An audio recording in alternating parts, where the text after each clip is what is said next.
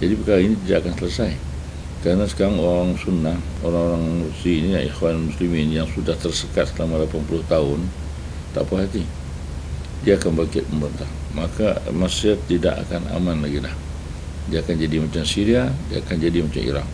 Maka orang Islam akan berpecah selamanya. Dengan ini kita langsung dikawal.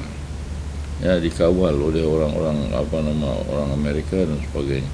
Dan ini juga telah dicuba kepada kita kita pun dicuba. Pasal itu yang terakhir dalam pilihan raya kita baru ini sebenarnya bukanlah perasaan orang Cina sangat.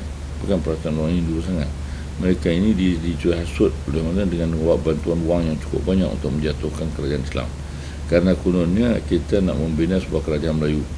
Islam ya. jadi ini menyebabkan orang ini takut.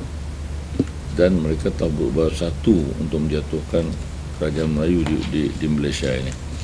Tapi Alhamdulillah walaupun, ah, walaupun orang-orang Melayu sudah terpengaruh pada mereka dalam bentuk parti umpamanya kita kata PKR dengan PAS ya, sehingga bersekutu dengan mereka ini untuk menjatuhkan kerajaan dengan kuasa Allah Subhanahu Taala masih dipertahankan ya, dipertahankan. Kalaulah kesedaran ini tidak akan tidak berlaku di kalangan orang Islam yang ada ya, maka kita pun akan jadi sama keadaan yang sama kerana kita adalah negara yang paling paling lantang menentang Israel. Ya, paling lantang menentang Israel. Yang tak ada langsung hubungan dengan Israel, Malaysia.